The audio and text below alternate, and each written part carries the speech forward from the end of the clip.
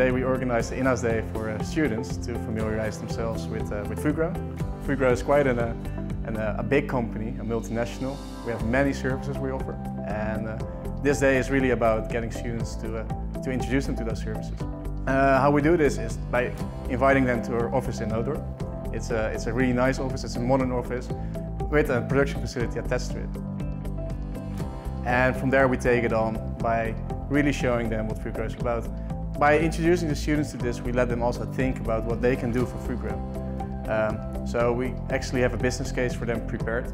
And with this business case, they can let out their creativity and think of a new service, uh, how to use data, how to uh, use sustainability concepts to create a more safe and livable world.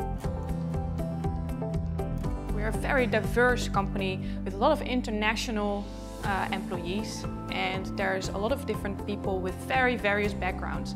So you can actually do a lot of different things within Fugro and there's opportunities for everyone. But of course when you're a student you really want to know, okay, do I really click with this company? Do I click with the people?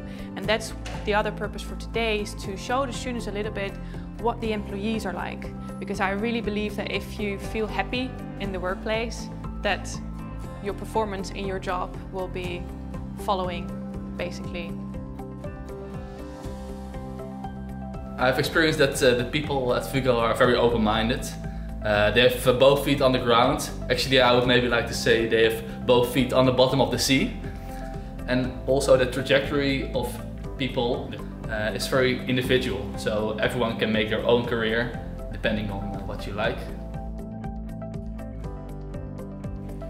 What I'm taking home today about Fugro is that I think that it is a very open um, organization where uh, young talent also gets a lot of um, opportunities.